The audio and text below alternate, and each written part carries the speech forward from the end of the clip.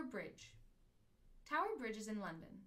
It crosses the River Thames near the Tower of London. It is a drawbridge which allows ships through the bridge deck when the deck is raised in the center at an angle. The north side of the bridge is Tower Hill, and the south side of the bridge comes down into Bermondsey, an area in Southwark. It is far more visible than London Bridge, which people often mistake it for. Many tourists go to see London to see the Tower Bridge. It has its own exhibition center in the horizontal walkway. This gives one of the best vantage points in London.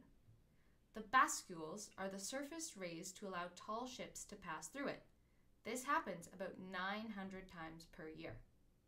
The City of London Corporation held a competition for the design in 1876. Over 50 designs were entered, and in 1884, Horace Jones and John Wolfe Barry's design was chosen.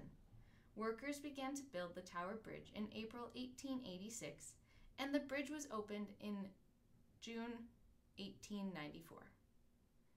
The bridge is 800 feet in length with two towers, each 213 feet high, built on piers. The bascules weighing over 1,100 tons each raise in five minutes. The bascules are raised by huge hydraulic pumps, which were first powered by steam engines. In 1976, these were replaced by oil and electricity. The bridge is made from more than 11,000 tons of steel. The two sides of the bridge are suspension bridges. The pedestrian walkways are 143 feet above the river at high tide.